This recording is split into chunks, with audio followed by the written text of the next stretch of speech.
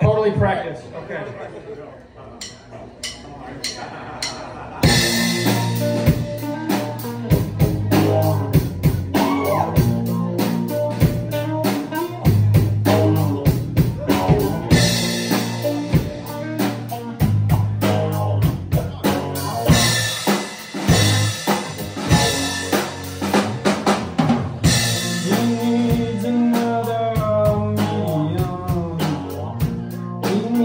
Some